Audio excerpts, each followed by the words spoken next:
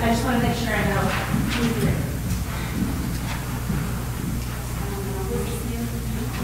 Okay, did you find in awesome. See, we find it. Okay, I'll just, I'll just put the check mark. Okay. I have one of the forms for children's catechumen, I'll be right there, folks. If you can hang out right there. Sure, come on. Okay. Okay. Uh,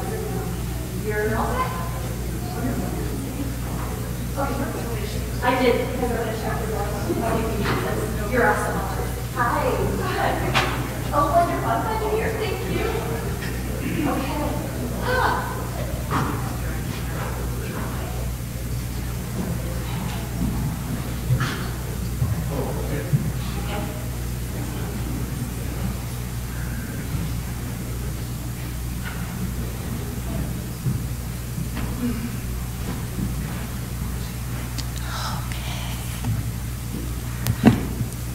Good morning, everyone. Welcome. What an exciting couple of weeks this is going to be, right? Ah. Um, I just wanted to greet you very quickly. I have a couple of announcements for both our First Communion families and our Confirmation families um, before Father Scott um, talks with the presentation. Um, first of all, for our First Communion families, I know some of you um, look at your emails all the time, some of you don't use email very often. This week, you will probably be getting, you will, you will be getting at least a couple of emails from me that are very important for you to read. Please pay attention to your emails from me or from Janet Bryant, our administrative assistant, this week. Um, one of those emails will include the streaming for any of your family members who are not in the state.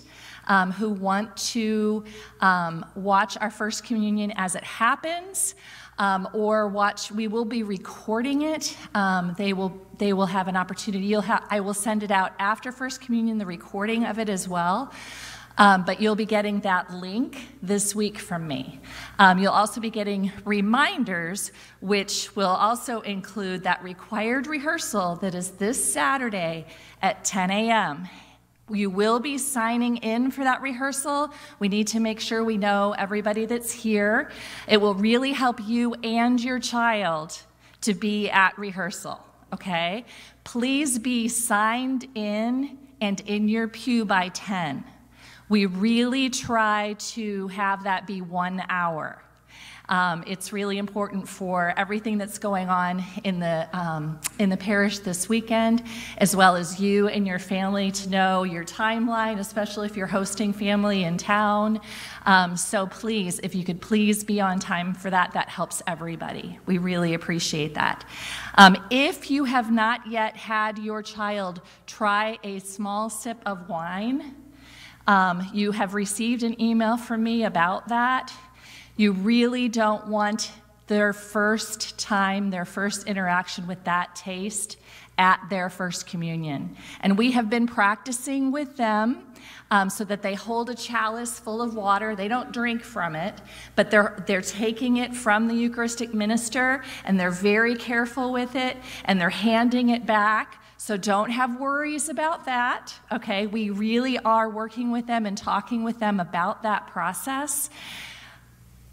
However, I have had families come up to me, and as a parent who has two children who went through second grade, first communion, everyone is grateful for that little tidbit of information to have them try wine at home for the first time before they come, because it is very different flavor than they're used to. And the kids know that that information has gone to you, okay? All they have to do is just wet their lip a little bit, okay? It's not a drink, but we want them to be focusing on the grace of receiving Jesus in that moment. We receive Jesus in that moment. And that's the focus for them. So please Please try that at home if you haven't yet. Um, if you have any questions about that, please talk to me after.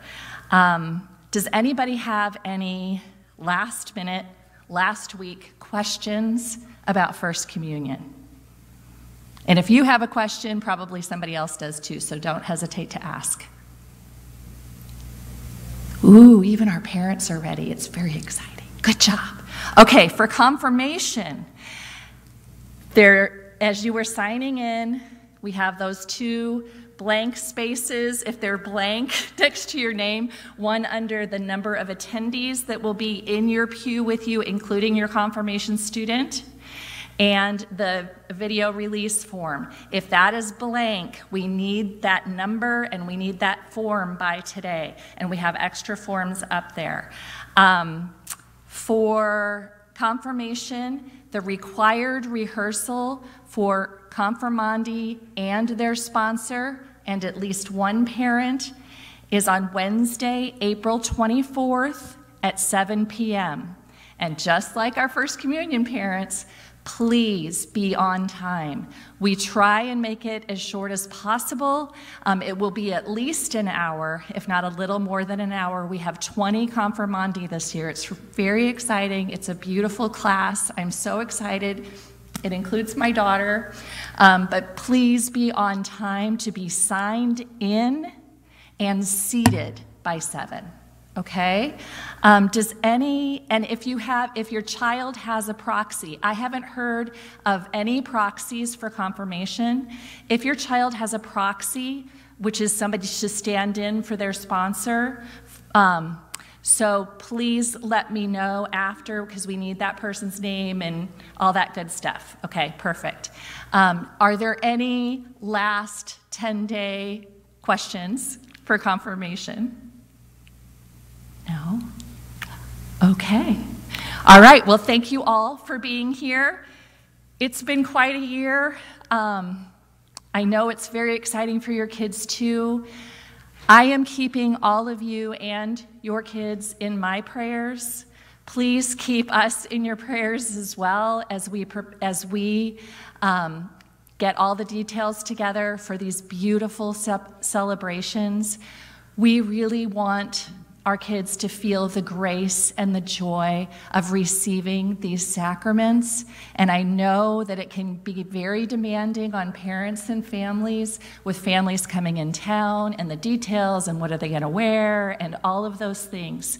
So please, as I try to with my own daughter, practice the pause, breathe in the Holy Spirit, And if on that day of confirmation or first communion there are challenges within the family and lots of different things going in different directions, pray for the grace of the Holy Spirit to bring peace to your family so that you can feel the joy and grace within your family and be sharing in that with your children. Thank you. And with that, Father Scott. I'm sure he's going to start in prayer. I have to laugh when, when my wife says something like that. It's, it's yes, ma'am. so I'm, I'm accustomed to that with Kelly. Father, Son, Holy Spirit. Well, Lord, we ask your blessing to come upon us now as we reflect upon the great gift of the Eucharist to our lives and how the Eucharist truly is the source and summit of all that we are as human beings and as the body of Christ. Grant this through Christ our Lord. Amen. Father, Son, Holy Spirit. So sometimes people ask me, um, so what kind of wine should, should the kids uh, take, right? And I recommend a 94 cab. That, okay, anyway, um, if, if, you'd like, um, we, can, we can provide you with a little bit of the actual wine that they'll be receiving. It's a mild rosé, um, but, you know, for, for those of us who drink wine, what's mild to us is like, whoa, what in the world is that for our children? So uh, you can actually, um, you know, after Mass or sometime, you can actually come back with the kids and we could have them try the rosé that we have right here, or you could bring, you know, a little bottle and uh, one of these little tiny jars and, and take it home so they actually taste exactly what it is that they'll be receiving. Does that make sense to everybody? Yeah, I still think a 94 cab would be good. That way you get, you get to drink the rest of the bottle. Yeah. Okay. Um, one of the things I, I wanted to, uh, to comment about um, before getting into the, uh, the substantive presentation about the Eucharist is um, the importance to us of supporting you as parents. And uh, for years and years and years, um, I mean, literally from, from the time that I was uh, formed in priesthood, um, the statement is drilled into us parents are the primary catechists of our children. And that's absolutely true. We all know that to be true. But what was always a disconnect for me was that we say that, but then in the life of the parish, there's not much going on to actually support the parents, right? Because Lord knows we need support. And for those of you who aren't uh, here at, at Seas, uh, I've got three kids and seven grandkids, and, and so I've been in the battle, right? I, I've been through the journey that's involved. And it's not easy. And, and I actually, as the years have gone by in my priesthood, have, have said to myself, what kind of support would I have wanted, right? What would I have benefited from? Because you're saying, well, wait, Father Scott, you're a priest. You should know all that stuff. Yeah, baloney, right? I mean, it's a challenge. And it's as much of a challenge for me and my wife as it is for you to know how do we nurture our children? How, how does that work? And so, um, what was it about four years ago, five years ago, we began these parent sessions. Um, and they're really important to us in terms of supporting you. But what we would appreciate is uh, feedback, and the best feedback you could give would be to Kate Bazine or to Kelly um, or Teresa, and, um, and to give really good constructive feedback because we're constantly thinking ab- about how can we improve our support of parents. And this parent uh, meeting is one of the places that we provide that support, but uh, you know, there are also countless different ways that we're providing you resources and uh, for those of you that have not been involved in the Faith Journeys uh, meetings, the parent meetings, you know, those are really important. And we don't, you know, we don't say for any of these, you absolutely have to be here or your kids can't be in faith formation. And we'd never do that, right? But but these are, these are really important meetings. And, and, and so we want the time that you invest in these meetings to be the best possible time where you're really getting support. And to me, this is a journey because this isn't something that we can draw from highly developed models. We, in fact, I don't know of other parishes that are doing this anywhere. It's probably happening in some other places, but Kate Bazine actually went to the uh, National Catholic Education Association uh, National Conference, and she was asked to be a presenter because they learned what we're doing here in the parish. And to be a presenter at the NCEA is a big deal. You know, it's really saying, we like what we see that you're doing. But our recognition is that, that there's a long way to go for us to do this as well as, as we would want to do it, right? And, but we need your feedback for that. Does that make sense, everybody? Okay, because I, I, think sometimes, you know, you're, you're sort of, well, I'm just a parent, who am I? Well, you're, you're incredibly important to us. That's why we're doing this, right? I mean, one reason I think that parishes don't do this is it's a lot of work to be involved in, in doing this kind of ministry. But to me, it's essential for, for who we are um, as, a, as a parish community for us all to support. One of the things that is happening with the Faith Journeys parents, so for, for those of y'all that aren't aware, haven't participated in that, that's basically parents with children in faith formation whose, whose kids are not in sacramental prep. So that's what, there's, uh, uh, uh, is it, do y'all, are y'all involved in, in sacramental parents meetings for two years for each sacrament or just one year? Just the, just the last year. Okay. So for all the other years, right, that your kids are in faith formation, uh, Faith Journeys is uh, also a meeting that is really important for everybody to be at. And um, Kate has gotten incredibly positive uh, feedback from those Faith Journey parents meetings. And uh, some of the things that we're thinking about is uh, changing this meeting uh, from what's more of a uh, I lecture, I don't like to call this a lecture, but uh, you know, a, a, where we're a presentation format um, to one that's a little more interactive. But this is, uh, this is all part of the development, and the more feedback that we get from all of you, the better that we'll be able to meet your needs. Make sense to everybody? Okay, good.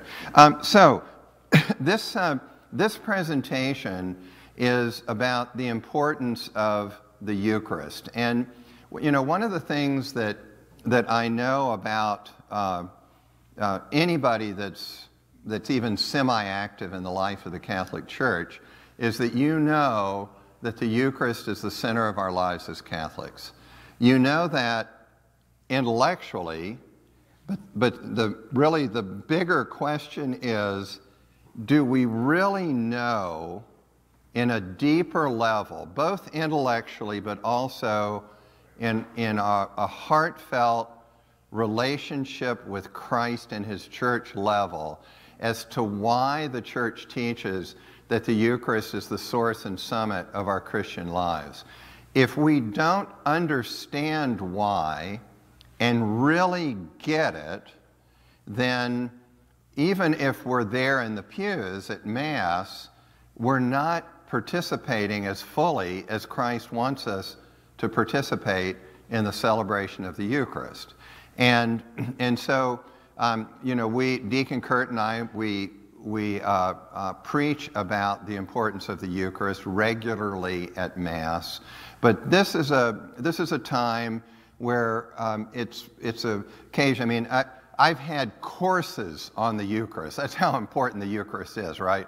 So in 40 minutes or 45 minutes right now, um, you know, how much can I cover? Well, I hope I can cover enough to where you get the heart of, of why the church teaches what it teaches.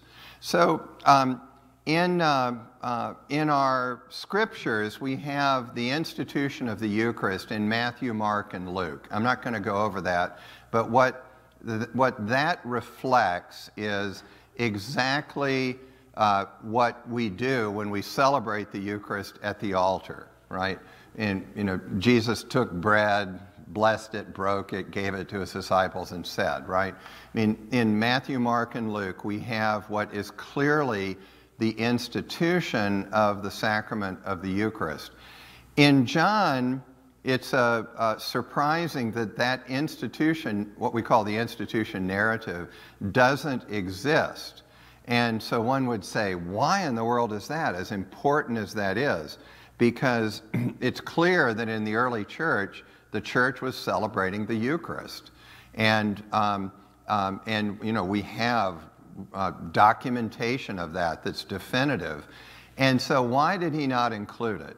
Well, there are a lot of different reasons, but one of the answers is that he does, in fact, include it, but John, being deeper in terms of, of, of, of theological reflection and uh, deeper is not the right word, but, but John has this ability to use symbolism and um, and, and, and a deeper sense of literary impact on having a deeper understanding of various theological mysteries in our lives, one of which is the Eucharist. And so we go to John 6, and that's where we find the primary uh, reflection in the Gospel of John on the Eucharist.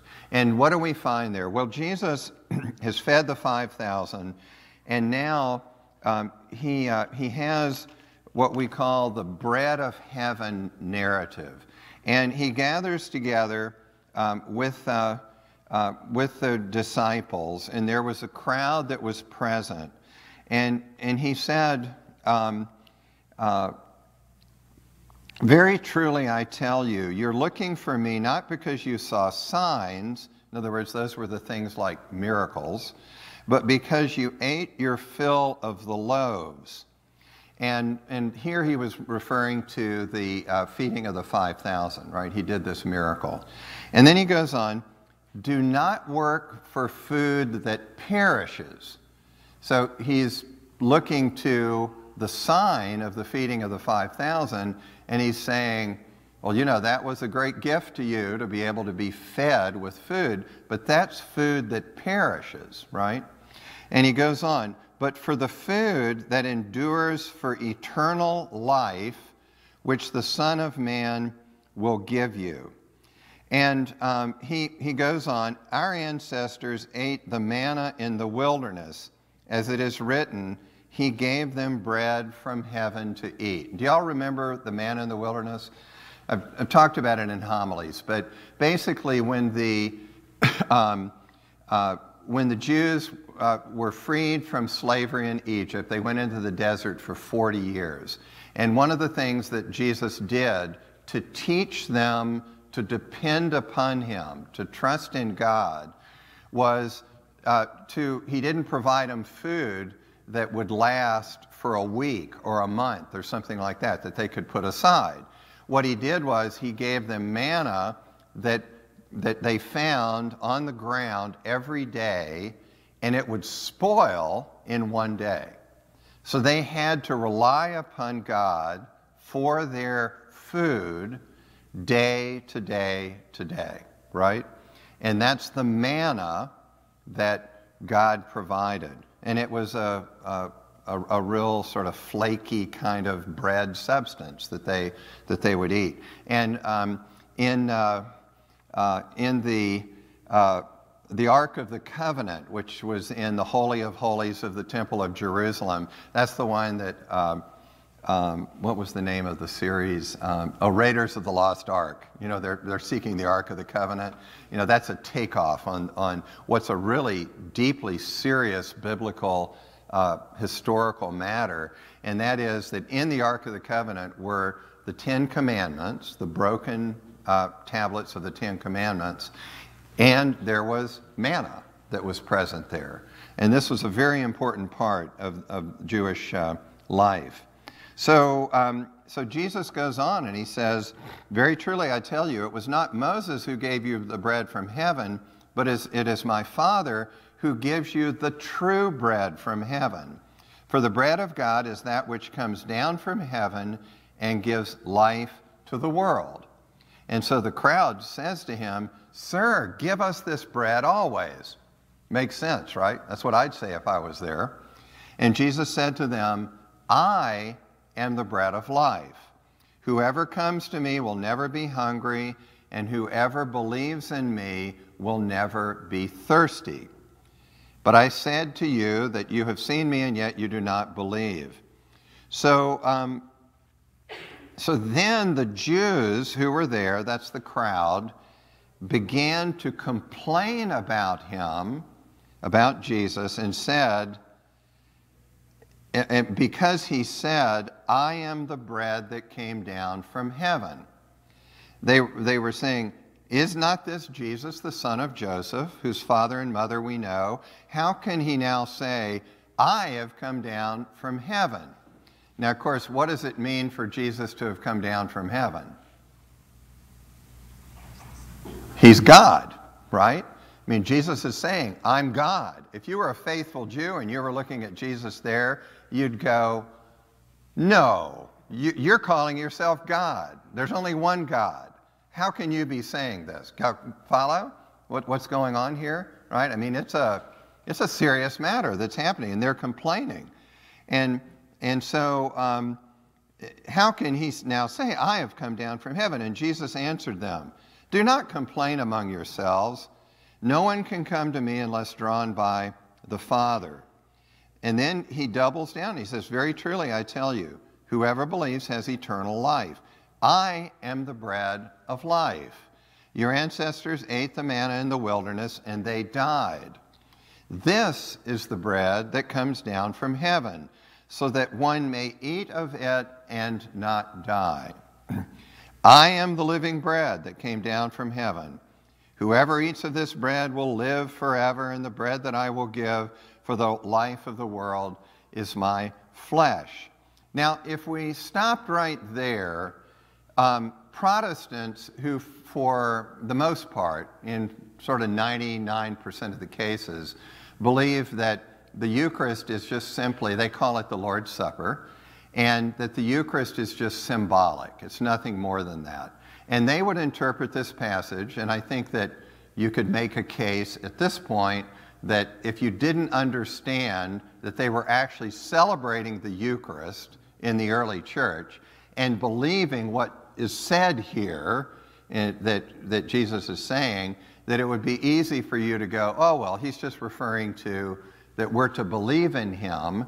And by believing in him, Jesus is the bread that came down from heaven, and therefore we're going to receive eternal life. But then, but the problem is he was talking about flesh. And so the Jews disputed among themselves and said, How can this man give us his flesh to eat? Can you see the shift here? Right? I mean, they're talking about eating his flesh. How can he give us that to eat? And so Jesus said to them, Very truly, I tell you, and he doesn't say, Oh, no, no, no, no, no, don't worry about it. This is, I'm not saying that, that you're really eating me. It, this is just symbolic, and so settle down. It's okay. It's only symbolic, right? Now, understand, they're getting all upset about this. And if you put yourself in the place of a faithful Jew, it's understandable that they were upset. But Jesus doesn't back off. So Jesus said to them, Very truly, I tell you, unless you eat the flesh of the Son of Man and drink his blood, you have no life in you. And here now it's crystal clear he's referring to the Eucharist, right? As we understand it as Catholics, this is full blown Eucharistic theology. Those who eat my flesh and drink my blood have eternal life, and I will raise them on the last day. For my flesh is true food, and my blood is true drink. Those who eat my flesh and drink my blood abide in me, and I in them. Just as the living Father sent me, and I, I live because of the Father, so whoever eats me will live because of me. This is the bread that came down from heaven, not like that which your ancestors ate and died, but the one who eats this bread will live forever. And he was actually uh, teaching these things in a synagogue in Capernaum. And Capernaum was the center of Jesus' ministry. That's where, um, where he called the fishermen as the first apostles. They lived in Capernaum. It's a seaside town, the biggest town on the Sea of Galilee. So that was the center of his teaching. So he's actually teaching in a synagogue. So I think that, you know, when it comes to teaching our children, um, you know, second grade is, uh, it's interesting. Uh, we speak of it as the age of reason, and uh, any parent knows that if you call a second grader a reasonable being, uh, you know, it's not exactly being real. But I think that, that I think there is truth to the fact that a child can get, if we properly catechize them, and that's most importantly by you, a child can get that this is God, that this is not just food, but it's actually Jesus that we're, we're receiving sacramentally in, uh, in our lives here. And a lot of this has to do with uh, the very uh, way that we as parents come to um, to live in our relationship with the Eucharist. So if we walk up to the Eucharist and it's just sort of like this that we receive it, and it's like, okay, thanks, amen, and we walk across, you know, that that's going to say to our children by the way that we're receiving the Eucharist that, well, you know, this is just something that we do. And, and in a sense, that type of reception of the Eucharist is. Um, is, is you could say where we think it's symbolic. That, okay, well, this is a symbol and it's sort of a spiritual moment, and I'll, uh, okay, I've, I've gotten the bread and now I'm going to consume it, and this is a spiritual act and it will strengthen me, right? That's, that's Protestant theology, right? When we come forward to receive Christ, I, I always uh, remember there was a man. Um, I can't remember his last name, but he was a colonel.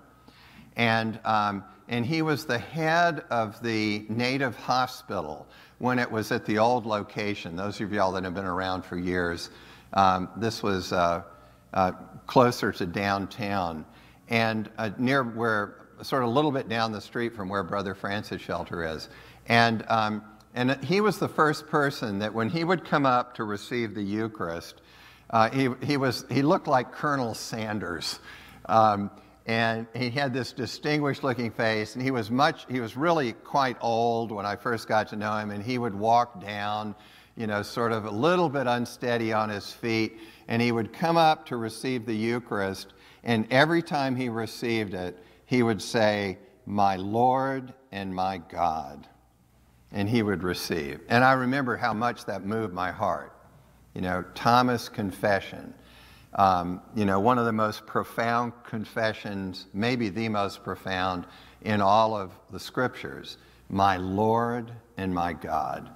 You know, and, and, you know, the church teaches that we say amen. I'll never look at you funny if you say my Lord and my God, right? But when we say amen, that's really what our heart should be saying my Lord and my God right? I'm going to be receiving the actual flesh of Jesus Christ that will nourish my soul. And likewise, the blood, right? It's not just symbolic wine. Protestants use grape juice uh, a lot of times. Um, it's really the blood of Christ in sacramental form, but it's really the blood of Christ.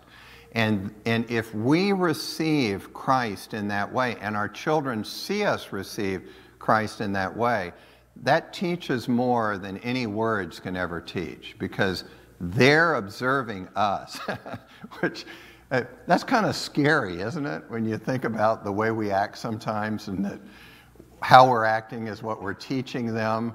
Um, uh, you know, sometimes I look at it and I go, oh man, I just acted that way in front of my kids, and that was not the homily I wanted them to hear, right?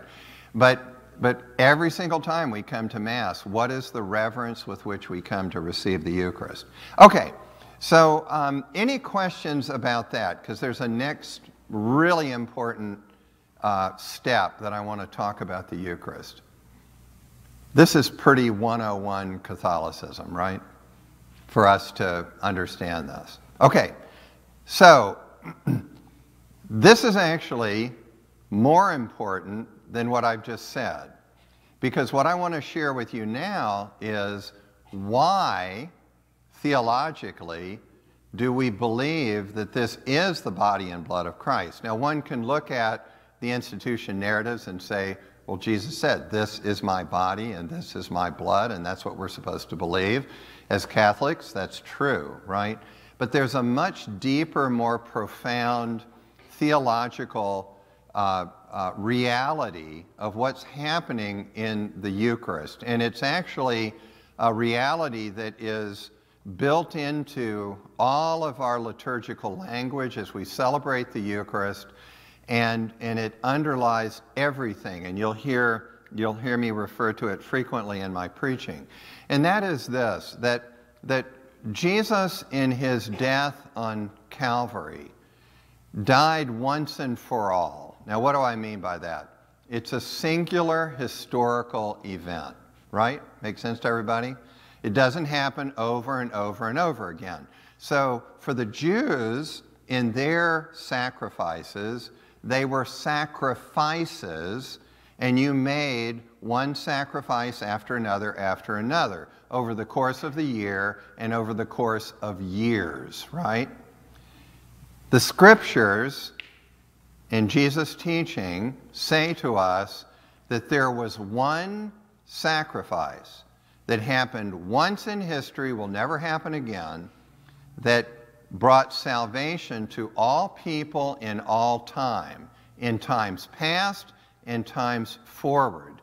And that singular sacrifice of the Lamb of God for the sins of the world um, will never be repeated historically. Everybody with me there? Right? However, that historical event that happened once in time is eternal. So there's a historical in time dimension, once and for all, but that sacrifice is eternal in its consequences and in its meaning. That's why it stretches out to the past and to the future, right? Why it stretches out over all the universe in terms of its salvific character. And so we have this, uh, this one time event which is eternal in its character as well. So it's both historical and it's eternal. And because it's eternal, it's a sacrifice that stretches out into all of time.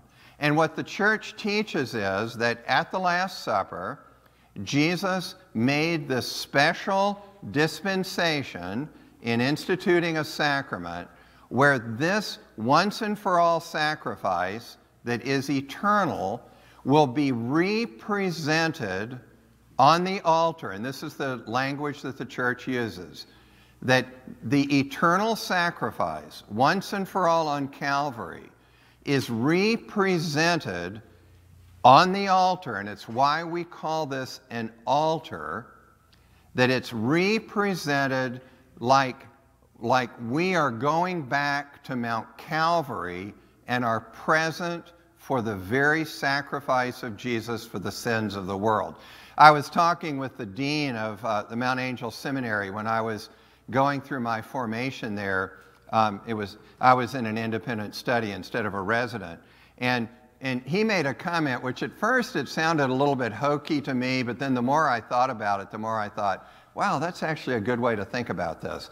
He said, it's like if we had the opportunity to go one place in time travel, one place in all of history, where would we want to go? And he said, you know, it's like the Star Trek, if you, you take that, what do they call it? The, what's the name of that machine that sends you somewhere else? Transporter. Transporter, yes, the transporter. All right, so the transporter becomes a transporter in place, but also a time machine in time, right? Where would we want to go? Well, I could make a strong case that where we would want to go would to be at the foot of the cross with Mary and John and the other Mary, because there the salvation of the world was won for us once and for all. How that would impact our lives, right? And, and for us to actually be privileged to experience that, as, as terrible as it would be. We can't all crowd around the cross. But God, in His wisdom and mercy, can bring the cross, can bring Calvary to us. And we can come and actually participate in the representation sacramentally of the sacrifice of Jesus Christ for the sins of the world that happened once for all in history. So, this is why we call this an altar and not, like Protestants do, a communion table, right? They reject the language of altar because they don't believe that this is actually a sacrifice that's happening. Everybody follow what I'm saying? Right? It's why I'm a priest and not just an ordained minister. It's why a priest is the only one who can consecrate the Eucharist because I am offering a sacrifice that is the representation of Jesus' sacrifice on Calvary 2,000 years ago. So, and then you will, when you listen to the language of, of our prayers, you know, things like, pray, brothers and sisters, that my sacrifice, in other words, I'm standing in the person of Christ, in persona Christi, offering the sacrifice of Jesus Christ for the sins of the world that is represented on the altar for all of us to experience. It's represented sacramentally. And then my sacrifice and yours, you are bringing the sacrifice of your life to be united with the sacrifice of Jesus Christ for the sins of the world.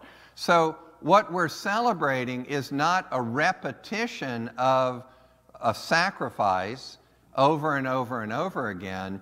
What we're celebrating is that we are entering into the one sacrifice of Jesus Christ for the sins of the world that is represented for us. Why is that possible? Because it is an eternal sacrifice. It's not just historical. And, you know, I can talk about this intellectually right now, right? But what I'd, what I'd really, you know, Im, Im, uh, just implore all of you is if you've never really heard this, or, you know, you may have heard me say it, but it didn't really sink in, you know, allow this in your prayer life to sink in because it will completely transform the way that you come to celebrate the Eucharist. If you really get this and you really believe it, it's like, how could I possibly not be at Mass and just be doing other stuff on Sundays or Saturday evening? How could I possibly not say, I want to be there?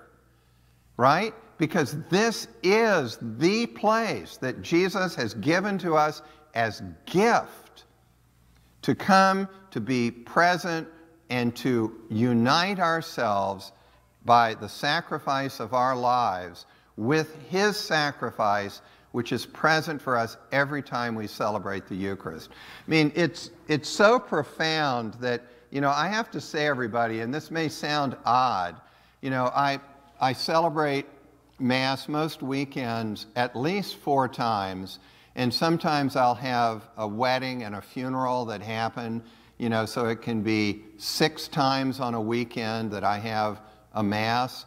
And I have to say that because I hope I get this, that I've never celebrated the Eucharist and felt like it was just me going through the, the steps. Every single time, it's like, I can't believe God has called me to be a priest and that I am so intimately involved in this representation of the eternal sacrifice. I mean, it's, a, it's just this sense of utter unworthiness, right? Of, of being in a place to do that. So it, it's never anything but profound for me. It's never something that just becomes, I'm going through the motions, right? In fact, if anything, it becomes so profound that it sometimes, I don't understand why I don't make more mistakes because I'm so present to what's happening that, you know, sometimes, uh, you know, I'm, I'm really not consciously thinking about what comes next. Does that make sense to everybody? You know, I mean, it's just kind of like I'm entering into it in such a profound way, but it's this sense of, the, of this privilege of, of being in this place. And, and, and the, the, the, the humble sense of, my goodness, how can, I, how can I possibly be called to do this? Well, what I'm called to do as a as an uh, ordained priest, it's your privilege as well, in, because you're part of the priesthood of all believers, right? I mean, you are part of this sacrifice, right? And that's where I love the, it was a change in the most recent uh, uh, translation of the Latin to where it restored the sense of me saying, of my sacrifice and yours, right? You are in your role through your baptism as the priesthood of believers, you are coming to also participate in this. I always love, uh, with my Protestant brothers and sisters, like to say that, um, you know, where they, they have an altar call at the end of Mass, I always like to say we have the ultimate altar call, which is the altar call to celebrate the Eucharist and, and to come forward to receive the body and blood of Christ. Let's see, time wise. Okay, we have, uh, we have like nine more minutes. Any questions or reflections that y'all might have?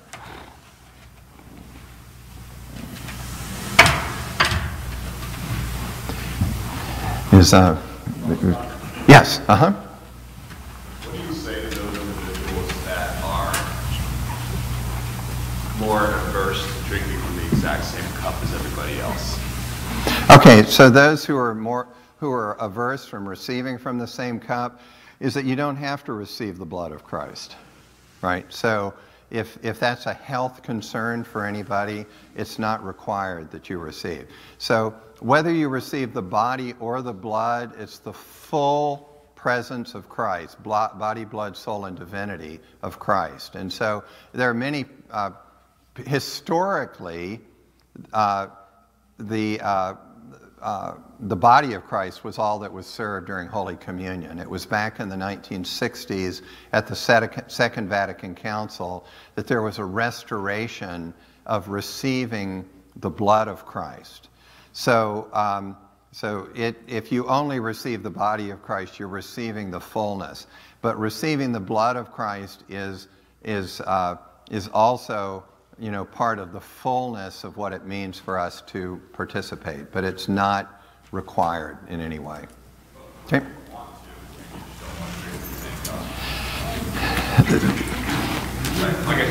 Yeah. So, so I, actually, one thing I, I can share uh, that would might be helpful for somebody that has that kind of concern is that they did a study of uh, of the communication of disease through the cup and from serving Holy Communion.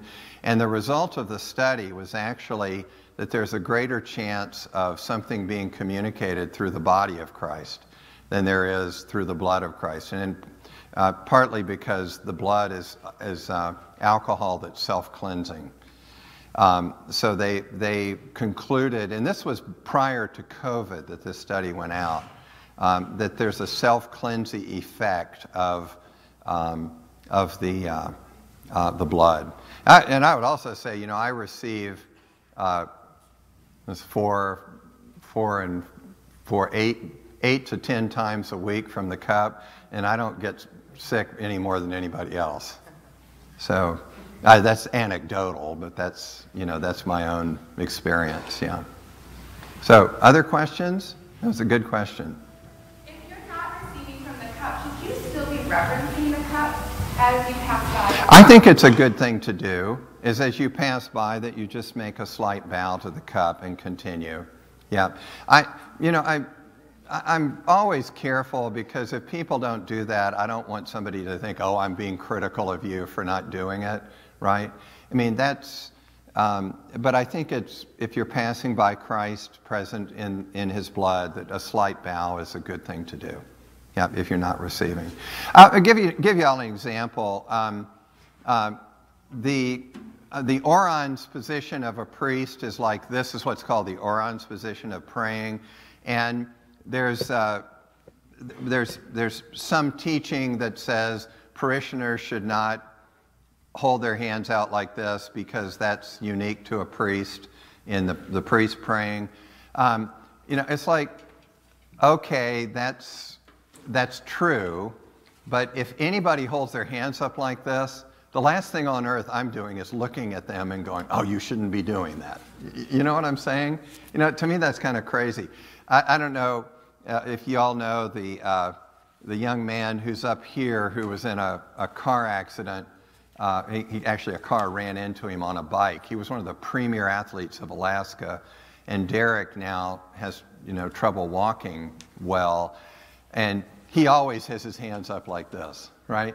And I'm not going to go to him and say, don't hold your hands up like this. Because for him, that's like a way he's praying, you know? Um, but if somebody was to say to me, Father Scott, technically, should I be holding my hands up when I'm praying? My answer would be, yeah, not really, you know. But on the other hand, when you hold hands during the Our Father, that to me is not the orans position. That's, we're choosing to hold hands with our brothers and sisters. That to me is an act of, of just common prayer. The only thing I say to folks is, don't don't force your hand upon somebody next to you because there's some people that don't want to hold hands. And, and I think we should always respect that. Does that make sense to everybody? You know, but you know, when I'm in the pews with my family, which happens maybe once a year at most, uh, we're, we always hold hands during the Our Father. I mean, that to me is, it, it just feels right. Involved. Okay, any other questions? John? Okay, well, let me just, you know, again emphasize to everybody, you know, the parish is here to serve you. And, and I'm thrilled that you all choose to be here and to take your parental responsibilities seriously to come and to be part of this. But the more that you can give us feedback, the, the more we're going to be able to actually meet your needs because you know, I can be here talking like this and, uh, you know, sharing, uh, sharing my heart out over things that I feel really passionate about. Um, but uh, what's really important is for you to be able to share with us how it's impacting you and what a difference it's making for you. And the more that more feedback we get, the better we can change things whenever, wherever it seems like we can improve it. Make sense to everybody? Good. Well, I'm so excited about it. I mean, uh, uh, the, for those of you that are having your kids confirmed, I'm really excited about that. But you know, I have to admit, like most people, it's like kids receiving their first Holy Communion. There's something special about that. That you know, that, that's so so wonderful. So I'm, but I'm looking forward to uh, to both of these wonderful occasions. Good. Well, would y'all please rise and let's close in prayer. name of the Father, the Son, and the Holy Spirit. Lord, we give thanks for our children and for the wonderful gift that they are to our lives. And we pray that you might help each of us to be able to uh, to be able to um, help them to come to know Christ, to know his love for them, and to enter more deeply into the wonderful gifts of, of the various sacraments that they're receiving, and truly be able to, to believe in and experience his presence during those sacred liturgies. Grant this through Christ our Lord. Amen. Father, Son, Holy Spirit. Okay. Don't worry about that right now. Okay. If you don't mind, just come, come up and practice some singing. All right, we're going to start from the very beginning. Genesis. Yep, Good. four twenty. It's just Back there. I don't know how come you have it. Most of the time you stand in the back. no, that's not true. And Heidi can attest to that. Don't Well, I know, don't I'd like to stand here, but I'd like men to be standing next to one I know that, but I mean, I'm usually right next. Aren't I usually up there? Yeah, I haven't. Lately, but in the, in the, in the past, most of the time. I don't want to discuss that. Well, I then let's. if Scott shows up, I'm happy for you to move down, but Okay, the discussion is over with. four twenty-seven.